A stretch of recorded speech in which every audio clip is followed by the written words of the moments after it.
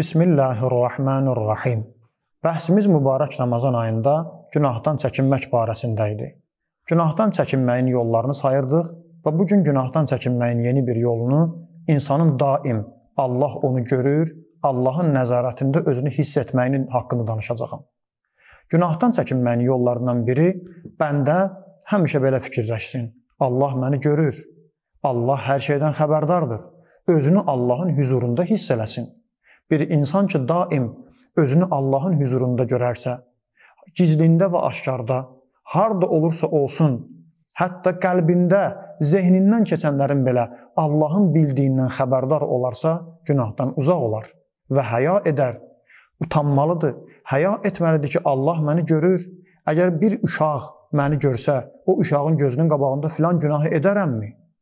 Əgər bir tanınmış adam, hörmətli adam, cəmaatın arasında mənə abır, hörmət bilən bir adam məni görən zaman mən o günahı edərəmmi? Xeyr etmərəm. Əgər bir gizli kamera olsa, əgər bir kənarda bir nəzarətçi polis olsa, mən o zaman həmin günaha əl uzadarammı? Xeyr.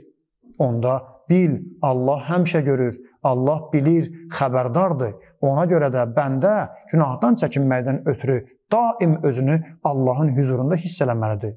Allah görür, hətta polisin, kameranın, təhlükəsizlik orqanların görmədiyini də Allah görür və bilir. Allah Taala Qur'an-Kərimdə Ələq surəsində belə buyurur. Ələm ya'lam bi annallaha yara? Aya insan görmür ki, bilmir ki Allah onun əməllərini görür? Bilmir insan ki biz onu görürük?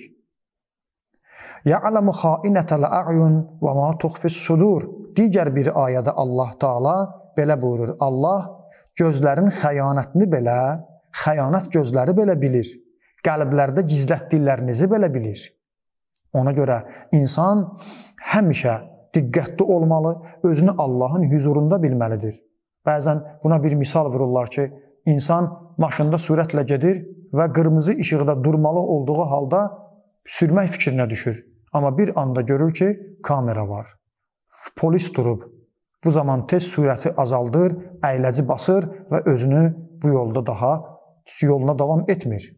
İndi bizim üçün bu yolda həmişə Allahın nəzarətində olarsa, Allahı biləriksə, onda özümüzü günahlardan belə əyləci tez basıb saxlaya bilərik. Allah hətta dualarımızı əsasən ən yaxşı görəndir. Əsma'as sami'in, əbsaran nadirin. Eşidənlərin ən yaxşı eşidəni, görənlərin ən yaxşı görənidir Allah. İmam Əmir əl-Möminin əleyhissalam belə buyurur: Xəlvətdə gizlində günah etməkdən çəkinin, çünki şahid özü hakimdir. Kimdir əməllərimizdə şahid olan? Həmin Allah. Kimdir axırda haqqımızda hökm verən Allah?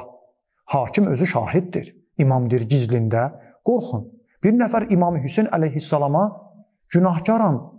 Günahdan əl çəkə bilmirəm, özümü qoruya bilmirəm, dözə bilmirəm. Mən günah edə bilərəmmi?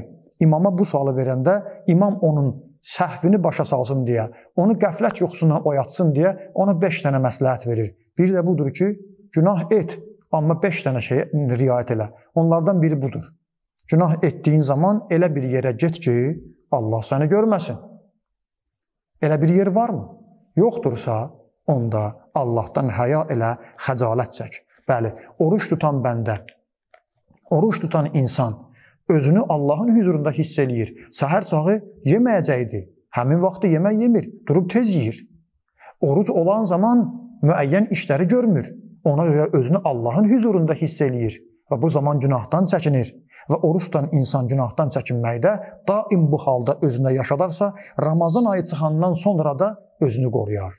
Allahı daim yad elə, dilində, qəlbində həmişə Allahı yad elə və imamlarımızın da buyurduğuna əsasən Allahı yad etmək zikr ki var. Subhanallah, la ilahe illallah bu dilin zikridir.